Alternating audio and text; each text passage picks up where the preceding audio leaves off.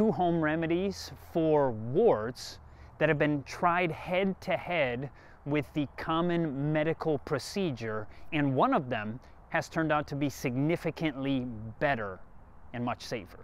Hey everybody, Chad Kreuzer here with Health and Homestead. If you end up liking this video, hit the subscribe button, hit the bell notifications. It's totally free, by the way, for those of you who don't know. It'll just help you to know our upcoming videos on health and homestead looking back through history, there have always been remedies. I mean, you look back as, as long as man has had disease, there have been remedies. From the ancient Chinese, from the Native Americans, wherever you are in the world, there have been remedies. And by the way, when you look at standard, you know, big pharma, the way they actually often find out remedies for various diseases is they literally have gone to indigenous peoples and they've asked them, hey, when you have a stomach ache, what do you use? And then, you know, these natives might show them, oh, we, we take this leaf right here and we crush it and we make a tea. And then they test it and then they find out, well, was that just kind of a folk remedy that didn't work? Or maybe it actually did and that's why they used it for centuries or millennia.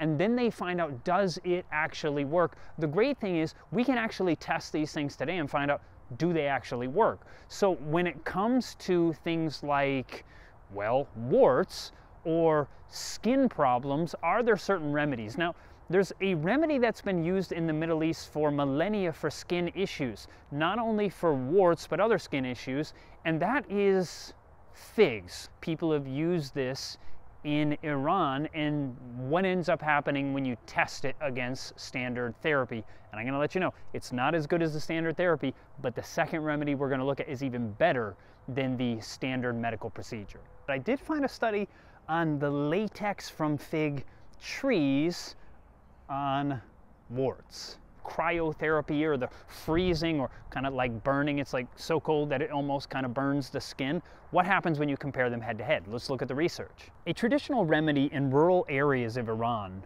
was to use the latex that comes from the fig tree for warts. So researchers put it to the test and their findings are published in the International Journal of Dermatology. 25 people with common warts on more than one area of their body were to apply latex from fig trees on one wart and on another wart standard cryotherapy or this freezing was applied. Well, what happened? 44% of the warts with latex were completely resolved versus 56% of the warts treated with cryotherapy. Now, keep in mind that historically cryotherapy was not an option.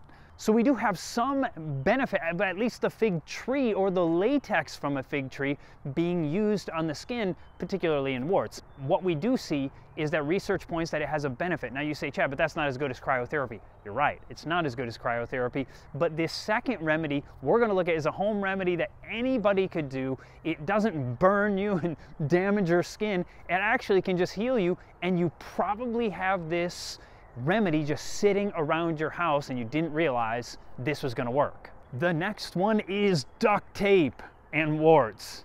A modern remedy for warts has been duct tape, JAMA. Now, what on earth is JAMA? JAMA is the Journal of the American Medical Association. Just in case you're wondering, if you're not privy to the, to the medical field, any doctor knows exactly. If you say JAMA, immediately you know you're looking at a, a reputable scientific journal probably one of the top scientific journals in the United States when it comes to medicine, the Journal of the American Medical Association. So what did they actually find? JAMA reports on a study comparing the efficacy of cryotherapy, this freezing therapy, versus duct tape. The researchers refer to it as duct tape occlusion. They had the people in the duct tape group cover their wart with a small piece of duct tape for six days. The sixth night it was removed and then a new piece was reapplied in the morning. This was done for a maximum of two months or until the warts went away. How did it compare to standard cryotherapy, something that everybody has in their house, duct tape? Well, check this out. 60% of those receiving cryotherapy had full healing from the wart versus 84.6% of those in the duct tape group. So all you have to do is this one simple remedy, home remedy that anybody can do, and you can do it from home and 85% of the time nearly, it's going to simply get rid of your warts. And how does it work? All you have to do is take a piece of duct tape, cover the wart, and you have to keep it on there six days in a row. And then on the sixth day, you'll take a new one and you'll reapply. And this can take weeks But the good news is you don't have to go have your skin frozen or pay a bunch of money to have this taken care of. How much does it cost? I mean, just as much as a roll of duct tape, and they probably have some duct tape at the dollar store, although often the cheaper stuff just doesn't stick as well as the more expensive stuff. You know, it'd be nicer if the cheaper stuff did, but hey, this is an incredible option. So now we know the research, and that's the great thing. That's what we look to find here on health and homestead. We look at the scientific journals, at the actual research. We're not just trying to find random people's opinions about overcoming, you know, health issues.